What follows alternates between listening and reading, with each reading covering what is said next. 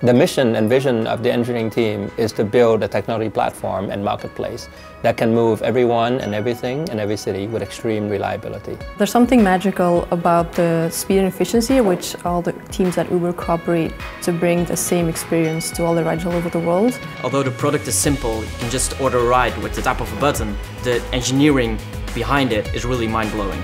Uber is changing transportation, car ownership, the supply and demand economy, and we have some really incredible data on that to improve people's lives in cities. And if you get to a state where we move a billion people every single day, you take more than half of the cars off of the road. You actually change the way the environment works and the way that cities work. You can be one single person with a crazy idea, try it out, see if it works. Things start really small and then have the ability to grow immensely big.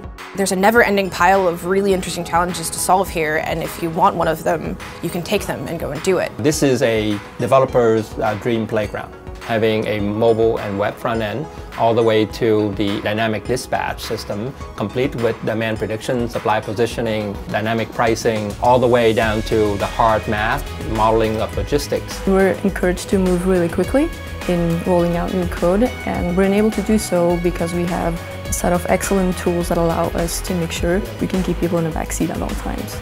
The team is completely uh, autonomous, like in terms of how they organize themselves, in terms of the feature they developed, even the timelines, even budget and hiring. I don't see Uber as a company of thousands of people. I see it as a thousand companies all working together, reaching the same goal.